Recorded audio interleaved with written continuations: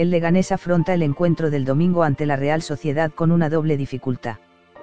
Por un lado está el escaso tiempo de descanso que va a tener al disputar mañana su encuentro ante el Villarreal de octavos de final de la Copa del Rey, competición de la que la Real fue apeada por el Lleida. Por otro, se encuentra la amplia nómina de jugadores con problemas físicos, que son duda para ese choque, por lo que Asier Garitano todavía debe trabajar con ciertas incógnitas. El equipo pepinero solo dispondrá de 63 horas de descanso entre el encuentro de mañana, 19 horas, en Butarque ante el Villarreal, la ida de los octavos de final de la Copa del Rey, y el liguero del domingo a las 12 horas contra la Real Sociedad en el mismo escenario. Es evidente que Garitano se va a ver obligado a introducir rotaciones en su equipo y lo normal es que para el domingo reserve a sus mejores elementos.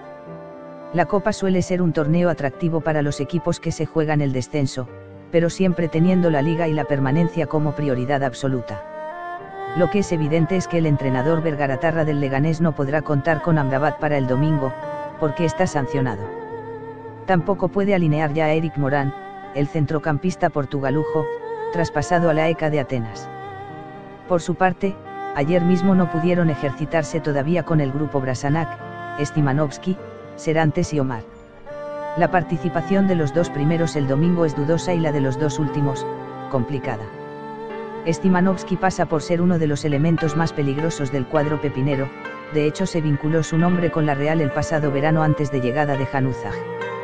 Marcó un golazo en Anoeta, de Vaselina, el pasado curso. El Leganés está interesado en la cesión de realistas como Rubén Pardo o John Bautista.